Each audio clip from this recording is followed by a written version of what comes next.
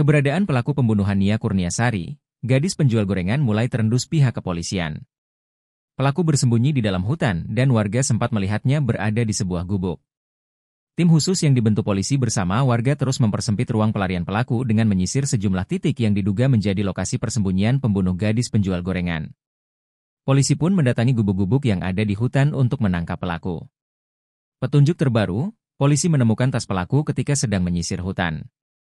Hari ini, kami menemukan satu tas milik pelaku, Jekata AKBP Ahmad Faisal Amir, Minggu, 15 September 2024.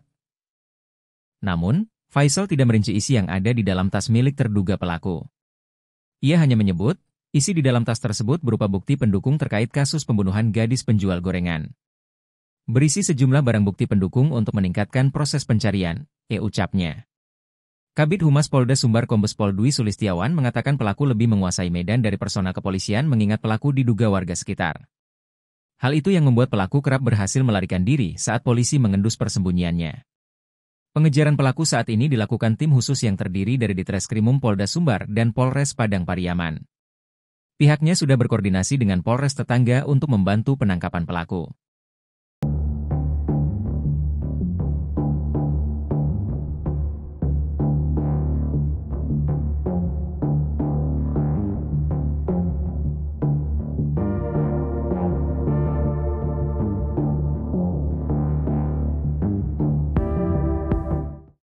Download Tribun X sekarang.